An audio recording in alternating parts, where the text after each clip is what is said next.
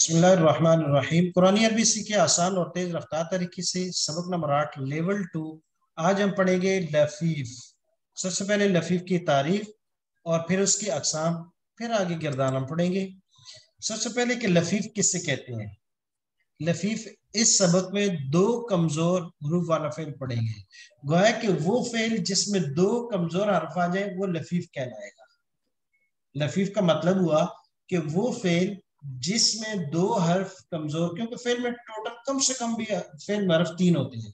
तो उन तीन में से दो हर्फ कमज़ोर आ जाए, यानी वह वाली या में से कोई आ जाए तो वो लफीफ कहलाएगा। फिर इसके आगे दो किस्में हैं। दो किस्में कैसे हैं? एक है लफीफ मकरून, जैसे कि यहाँ लिखा हुआ है, लफीफ मकरून। मकरून कर्न से है, जैसे लफ्ज कुरान भी है और हज किरान भी है। कर्न का मान होता है मिला हुआ होगा। हज किरान को भी हज किरान इसलिए कहते हैं कि वहाँ हज और उम्र दोनों मिलाकर कर लिए जाते हैं।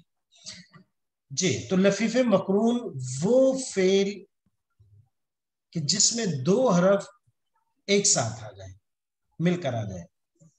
जैसे उसकी मिसाल है, गवा, गाइन, वाओ, या। फेल में तीन हरफ है तो वाओ, अलिफ, या, ये दोनों एक साथ आए हैं। ये हुआ लफीफ मकरून।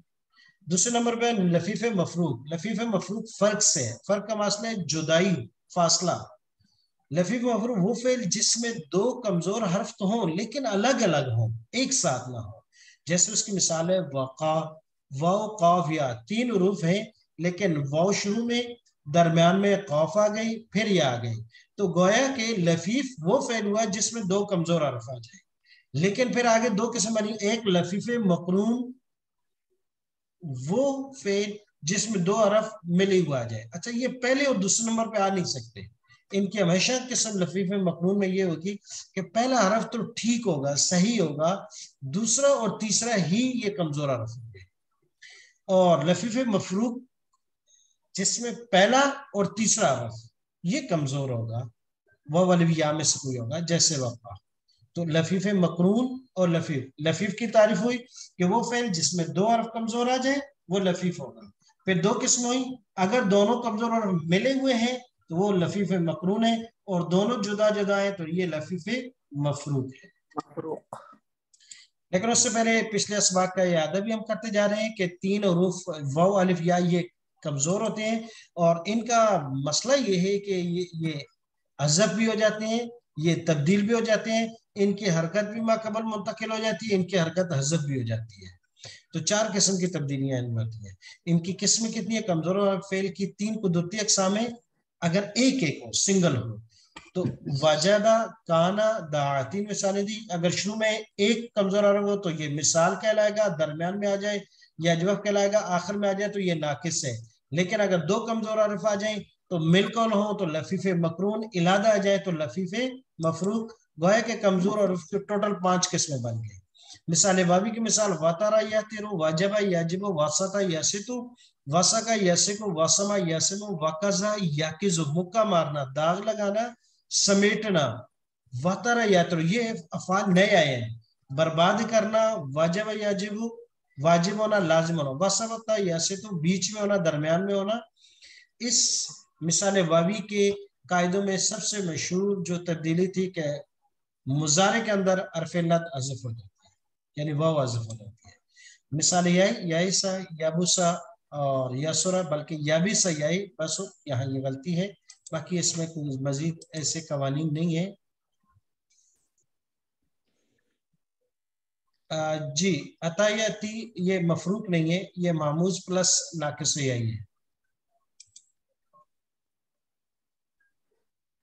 जी अजवफ वावी की मिसाल आ गई सा यसू, तौफा यतुफु, फाता यफूतु, जा यजू, दारा यदूरु, तौला इसके अंदर दो तीन कायदे बड़े अच्छे तरीके से, एक इल्तिकाई साकने काला का कायदा, माजी में कोलता का कायदा, यकूलू का कायदा और इल्तिकाई साकनैन का कायदा।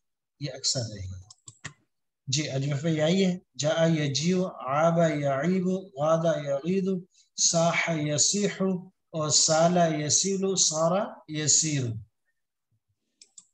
नाकिस वावी दायदु बदा यबलू बला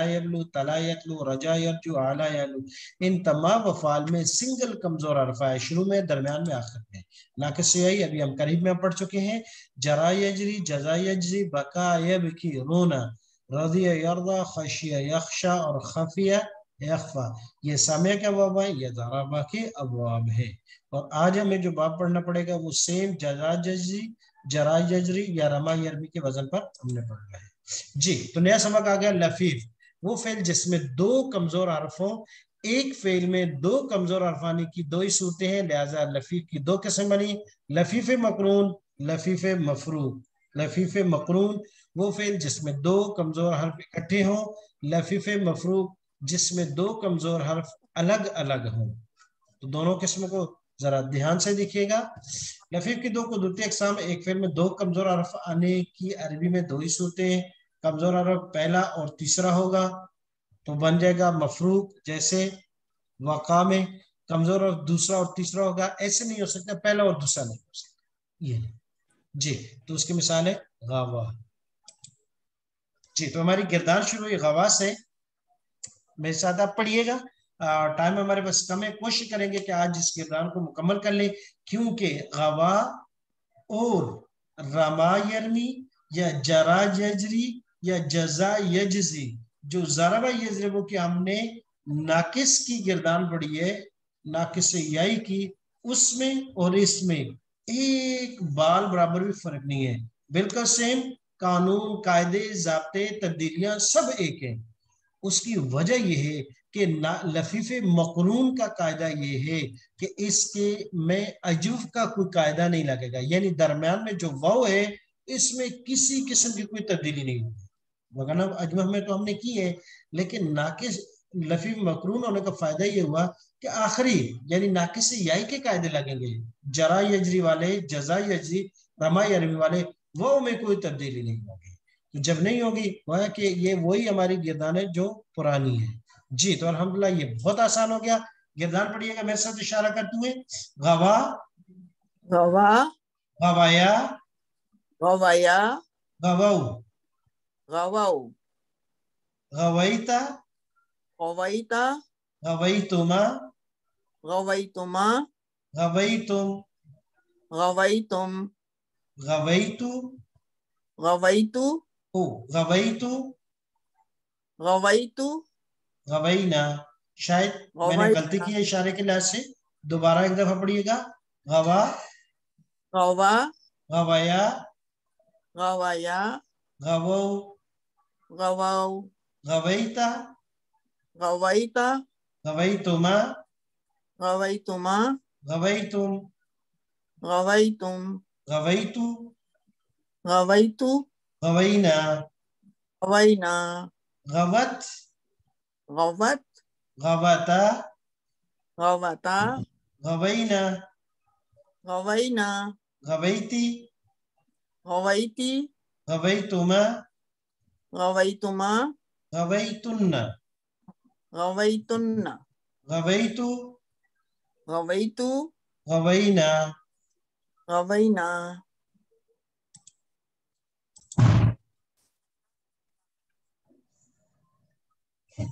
जी तो अब गौर से देखिएगा गवौ जमा मुजक्कर का सीगा है जैसे हमने पढ़ा था रमा रमाया रमाऊ जजा जजाया जजौ या जरा जराया जरौ सेम वो सीगे में तब्दीली असल में था गावा यू या अलिफ से तब्दील हो गई।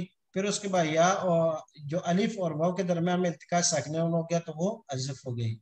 इसके अलावा बाकी कोई सीगों में कोई खास तब्दीली नहीं है। गवत, गवाता था गवायत, गवायाता। या अलिफ से तब्दील होने के बाद हजफ हो गई।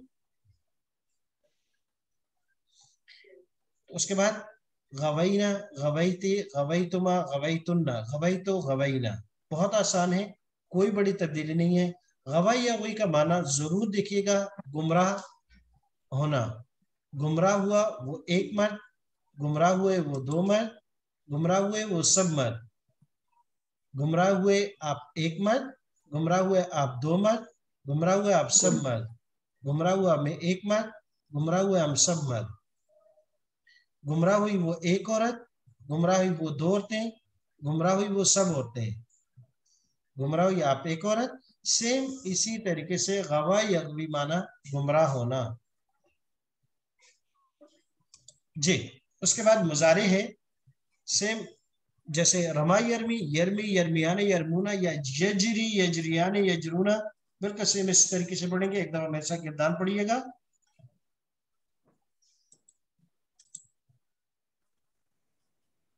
जी तो मेरे साथ गिरदान पढ़िएगा। यगवी यगवी यगवियानी यगवियाने यगवूना यगवूना ये यगवूना असल में क्या था? बता सकते हैं डॉक्टर साहब?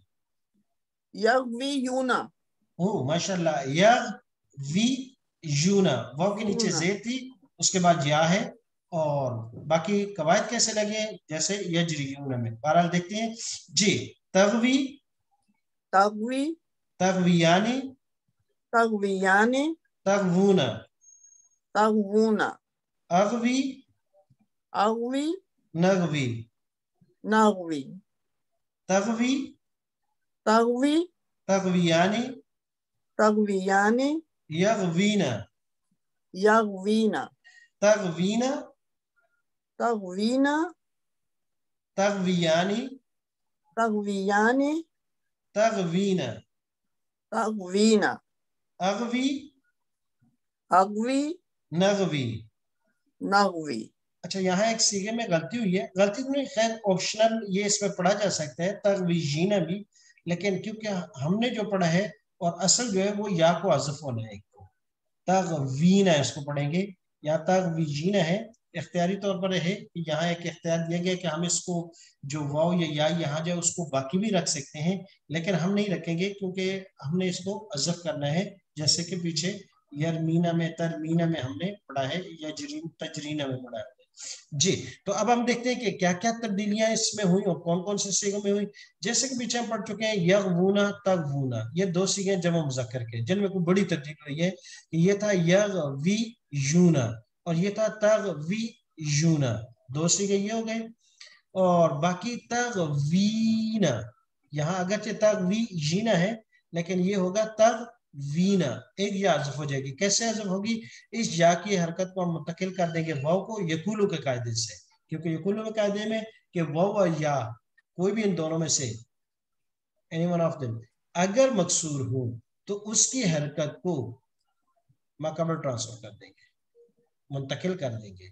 तो जब ये मुंतकिल हो गई तो खुद या साकिन हो गई। जब या ये भी साकिन हो गई तो ये दो जा, जा है हमारे पास ये एक ये एगिए तो जब दोनों या साकिन हो जाए तो इनमें से पहली या हो जाती है तो इसको पढ़ेंगे तग वीना।